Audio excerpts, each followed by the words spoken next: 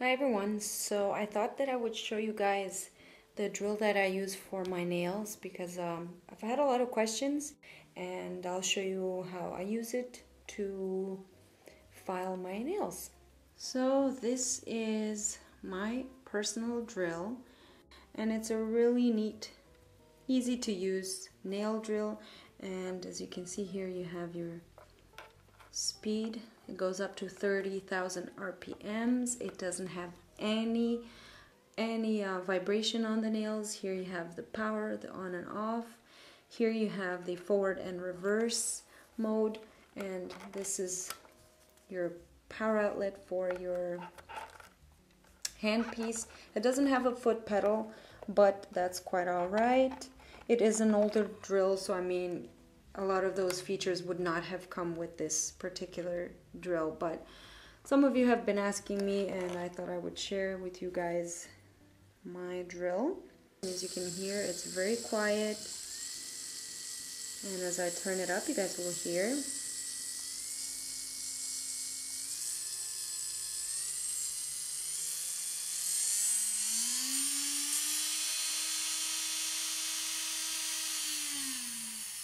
I use it on the lowest setting when I'm working on the natural nail and as I try to take, take the bulk of the acrylic or gel, whatever I'm working on down, I will usually put it up to like 15 to, you know, 16 RPMs depending on the client and also the bit that I'm going to be using. And then just to um, turn it on the reverse if you're working on your opposite hand, you just flip the switch right here. So you don't have to turn off the whole entire unit to do that. You could just switch it right here and it goes back and forth. I've got some diamond bits here and these are called diamond bits. The ones that are silver in color and these ones with the gold on them are called carbide bits. Now carbide bits are actually really great to take down bulk uh, when you have to sand down the nail really quick and take down volume. Like if you have a really high arch and you want to taper it down real quick, these are really good to use. They're very, very sharp, as you guys can see. This one is actually a brand new one. Very sharp, and I would suggest that you use this on the lowest setting because it can be very, very dangerous. These ones are great for underneath the nail. You know how the nails can get really dirty underneath there. The diamond bit is really good for underneath the nail and also around the cuticle. It's a little more gentle. This one is also a carbide bit. This is also great for drilling holes in the nail if it's shaped like this.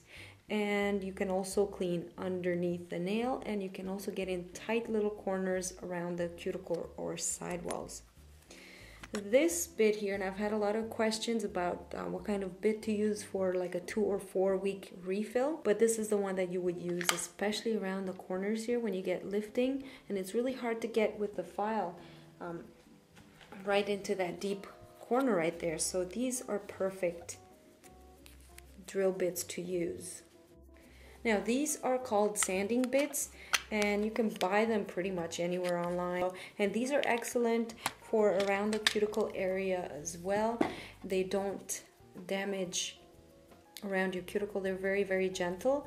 And I really love using these two just to smooth out the entire surface of the nail. It replaces any buffing blocks or anything like that. So, and um, the way that I actually change my drill bit because you can pull on this as hard as you want and you will actually only be able to pull this off um, is I just twist it it just twists, as you can see, back and forth like that.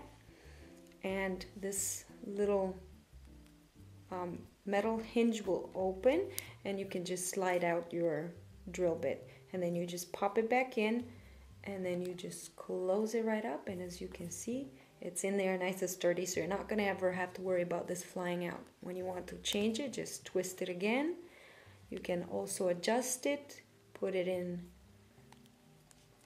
you know, to wherever you want to put your drill bit. You just doesn't have to be closed all the way in here. Okay, so I've got my sanding bit in here and I'm just going to turn my drill on.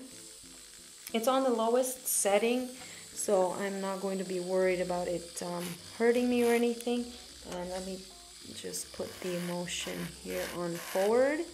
And I just usually go around my cuticle nice and gently. I hope you guys can see. And I just keep keep the bit flat. Let me show you sideways here.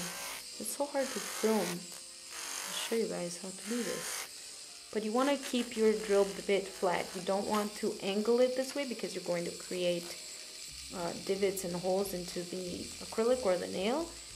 You just want to keep it nice and flat and just swivel the tip of the um, sanding bit around the cuticle.